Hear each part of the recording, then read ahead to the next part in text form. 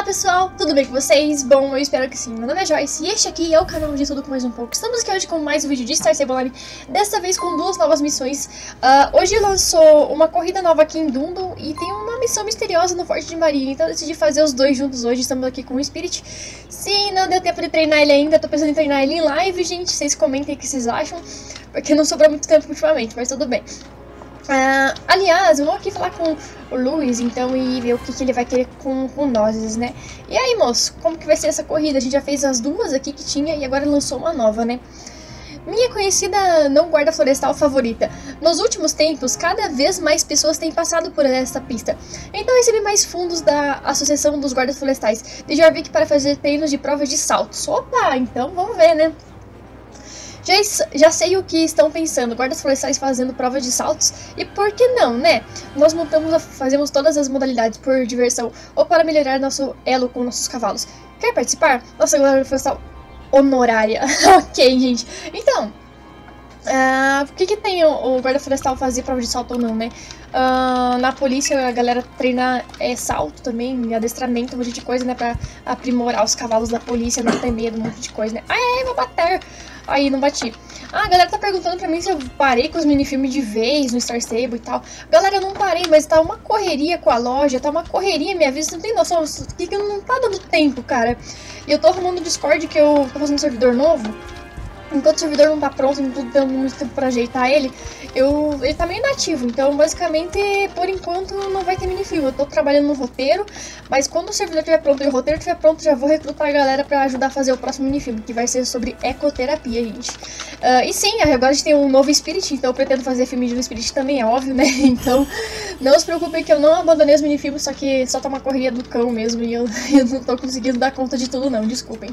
Mas, enfim, fizemos a corridinha aqui. Pedir um XPzinho, XP, por favor. Muito bom, eu espero que tenha gostado. Ah, eu gostei. Oh, ele vai empinar? Ai, será que ele vai empinar? Hum, não vai, quase passou por 4, poxa vida. Mas não tem problema, vamos lá então na, na próxima na corrida, né? Agora é a missão no Forte Maria, então eu vou no Forte Maria e daqui a pouco eu vou. Ai, galerinha que tá com interesse em pedir encomenda na loja, já vou deixar meio avisadinho pra vocês. É, se querem pedir encomendas, trabalhar no artesanato, peça um pouquinho antes, porque quando chegar o dia das crianças vai estar tão corrido aqui que eu acho que não vai dar conta para fazer todas as encomendas. Daí eu vou trabalhar mais no pronta entrega no dia das crianças, tá? vou fazer bastante pronta entrega, mas pessoal que quer homenagem, alguma coisa assim do seu cavalo e tal, já peça antes, gente, senão eu não vou conseguir dar conta de tudo não. Já vou avisando agora, porque agora já tá começando a ficar frenético. Quando chegar o dia das crianças, gente, eu vou ficar louca, mas tudo bem. Mas enfim, estamos quase chegando no Forte Maria. Acho que entrava por aqui. Achei? Ah, cavalo voou! Nossa, Star Stable, você faz muito sentido.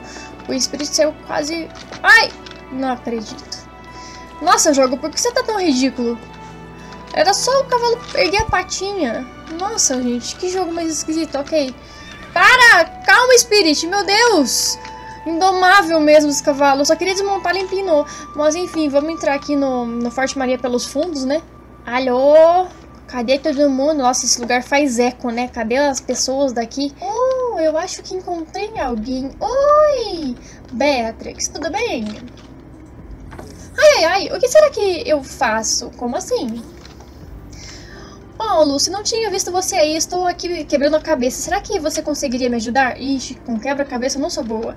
Sabe agora que o Concorde cresceu? Não consigo entrar com ela na biblioteca e fico bem cansada subindo e descendo as escadas. Essas perninhas são pequenas demais para isso. Ainda me lembro de quando os hum humanosos flutuavam por aí. Eles usavam atalhos, mas fechavam todos quando foram embora. As portas, você quer dizer, né, Beatrix? E aí que você entra, me ajude a abrir os atalhos para podermos usar é, tudo sem problema. Só se for agora.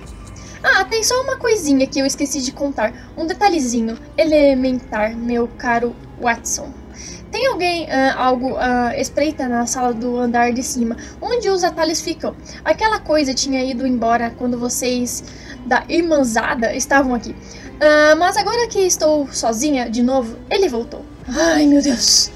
Se vier comigo aquela coisa assustadora, não vai fazer nada e podemos abrir os atalhos juntos. Vamos nessa. Ih, meu celular não, não fecha o bico, né, celular?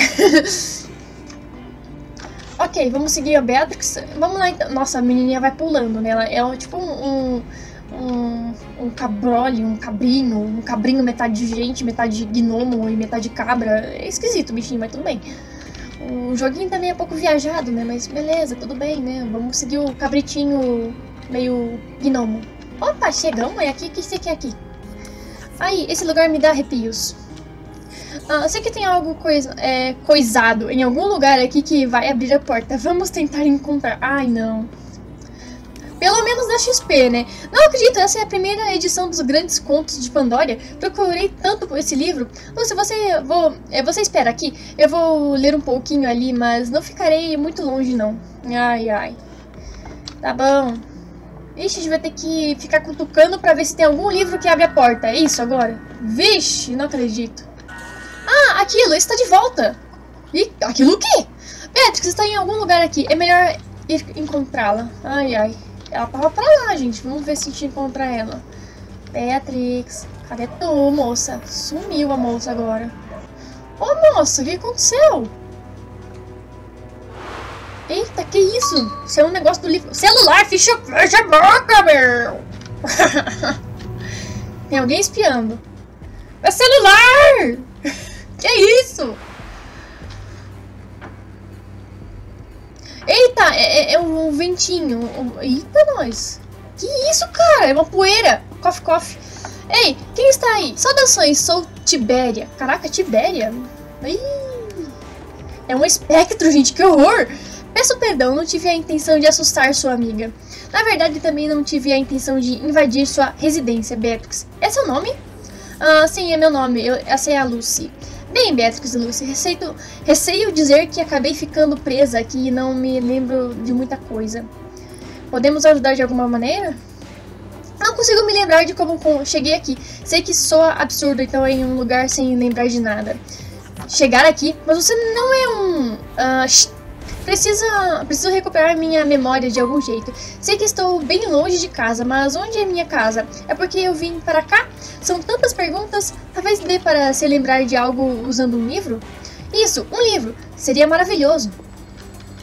Eita, nós. Tá, beleza.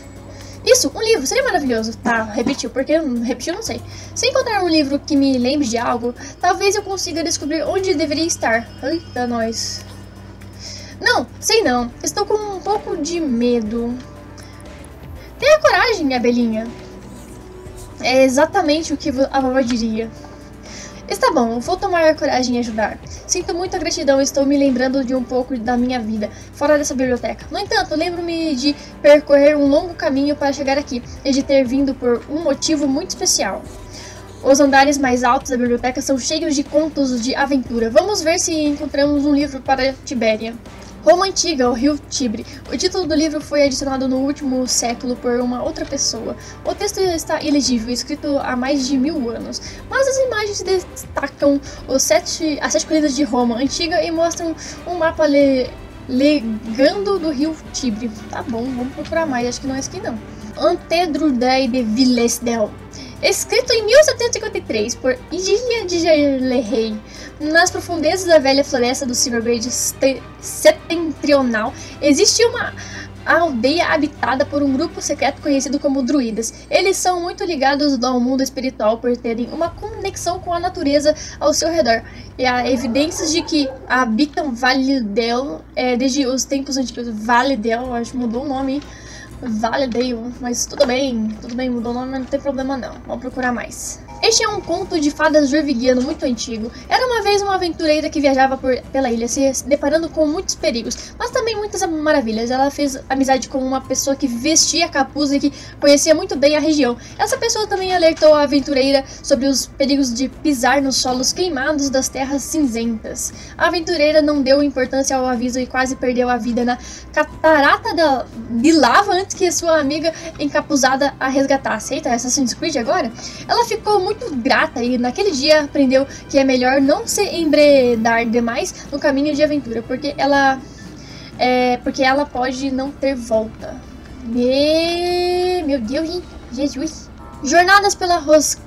Cagem Salvitálica, escrito em 1418, autor desconhecido. O texto é tão antigo que mal consigo decifrá-lo, mas parece estar falando sobre o bosque selvagem como ele era usado pelos antigos Magi romanos. Alguém foi é, fez anotações estranhas com tinta nas páginas há pouco tempo, destacando uma parte sobre perigos selvagens que perambulam pelo sistema radicular retorce, retorcido, enfim. Ok, e agora? Li tudo, basicamente. Então você vai me contar uma história?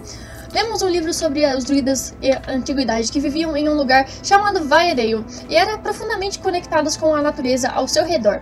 O texto era tão antigo que mal dava para ler, mas um livro falava sobre a boscagem sel selvática como ela era muito usada pelos aventureiros romanos. Tinha uma história sobre Roma antiga e o rio Tibre. Sem nome veio da, seu nome veio da Tibéria, do rio. Encontramos a melhor tipo de história, um pouco é, um conto de fadas urvigiano que alerta sobre os perigos de se perder no caminho da aventura. Eita! Pelo poder de Menosine, seu esforço me ajudou a encontrar a luz. Eita! ok, né? Beleza. Estou começando a me lembrar tudo. Tem problema não, fiquei milionária agora, mas tudo bem. Ok. Conte pra nós, Tibéria, do que você se lembra? Hum. Ouvi ótimas histórias sobre Jarvik em minha casa perto do rio Tibre, então vim para cá em busca de das lendas vivas que me chamavam a atenção. O primeiro lugar que visitei foi a aldeia dos escampa... encampuzados e foi lá que fiz uma amiga que me alertou e nunca me, a, a, nunca me afastar demais do caminho bem conhecidos. Não dei muita importância para o aviso dela e continuei sem medo. Então entrei para uma caravana itinerante de feiticeiros e mágicos que atravessava o, a boscagem seu, seu, selvática. No entanto, fiquei mais ousada e decidi explorar o complexo sistema radicular sozinha. Até que algo aconteceu, é, algo começou a me caçar. Eita! Ouvi um rugido horrível, uma sombra passou por mim e, infelizmente, minha existência acabou condenada a vagar por essas terras, desconhecidas pela eternidade, é, sem saber quem sou, onde estou. Caraca, vamos ter ajudar ela a descobrir quem ela era, meu Deus. Mas agora não. Mas agora que vocês despertaram minha memória, me sinto livre. Obrigada, Luz e bondosa Beatrix, por me ajudarem a é, recuperar a memória. Está na hora de eu voltar para casa. Avante, ataque Valetis. Não sei o que significa, mas tudo bem. Bona fortuna, é, Tibéria. Vamos nos lembrar de você para sempre. Eu não vou me lembrar, mas tudo bem, talvez eu esqueça. Minha memória não tá, não é mais a mesma, mas enfim, né? Fico tão feliz por termos ajudado o a encontrar o caminho da, de casa. Então abriu a passagem secreta? Acho que sim.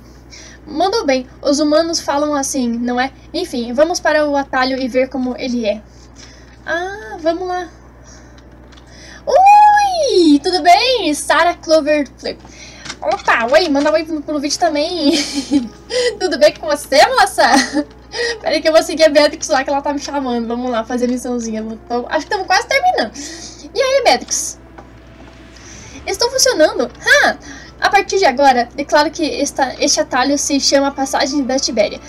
E prometo me lembrar da nossa amiga sempre que usarmos este atalho. Pensei só no quanto ficou muito mais fácil se mover pela biblioteca e agora Lucy foi um desafio. Com certeza com muitos toques de aventura. Hum. Ok, achamos a porta principal, eu acredito. Não vai se esquecer de mim, ok? Estarei bem aqui na biblioteca se quiser vir me visitar. Ah, até mais. Agora temos uma portinha que vai para não sei onde. Vamos descobrir agora. Onde você quer ir? Câmara principal, sala do portal ficar aqui. Sala de portal, câmera principal. Eita, pronto que nós vai. Nossa, velho, que que é isso? Virou uma bagunça. É, entrada. Ok, a, a entrada é aqui.